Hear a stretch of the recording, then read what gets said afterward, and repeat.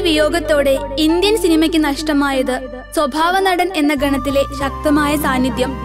നാടകരംഗത്തുകൂടി cinema രംഗത്തേക്ക് എത്തിയ ഓംപുരിയുടെ ശബ്ദത്തിലും നോട്ടത്തിലും അഭിനയത്തിന്റെ ഒരു തരിമ്പ് പോലും ഇതുവരെ മുഴച്ചു നിന്നിട്ടില്ല. അഭിനയം ജീവിതവും അനുഭവമാക്കി മാറ്റിയ ഓംപുരി സ്ക്രീനിൽ തെളിഞ്ഞപ്പോഴൊക്കെ പ്രേക്ഷകരിൽ അത് നിസ്സഹായതയുടെയും സങ്കടത്തിന്റെയും വെറുപ്പിന്റെയും പകയുടെയും പുതുകഥകൾ നെയ്തു. അഭിനയത്തോടൊപ്പം സാമൂഹിക പ്രശ്നങ്ങളിലെ ഇദ്ദേഹത്തിന്റെ ഇടപാടുകളും സമൂഹം ചർച്ച ചെയ്തിട്ടുണ്ട്. എതിർക്കേണ്ടവയെ നിശിതമായി എതിർക്കുകയും സ്വീകരിക്കേണ്ടവയെ രണ്ടു കൈയും നീട്ടി സ്വീകരിക്കുന്നു എന്ന് ഉറക്കെ പറയാനും ആർജവം കാണിച്ച നടനായിരുന്നു ഓംപുരി.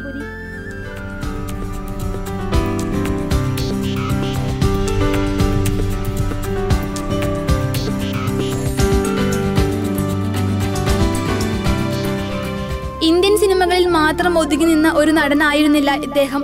അമേരിക്കൻ ബ്രിട്ടീഷ് സിനിമകളിലും ഇദ്ദേഹം നടനായി തിളങ്ങി. എട്ട് ഓസ്കാർ അവാർഡുകൾ നേടിയ ഗാന്ധി എന്ന ചിത്രത്തിന്റെ ഭാഗമായിരുന്നു ഇദ്ദേഹം.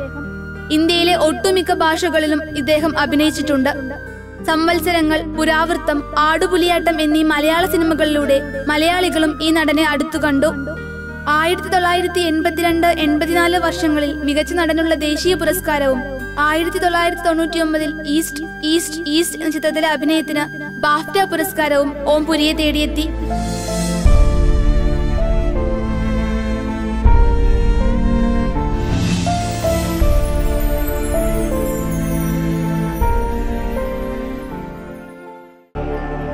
വാർത്തയുടെ തത്സമയ സ്പന്ദനം twenty four news dot com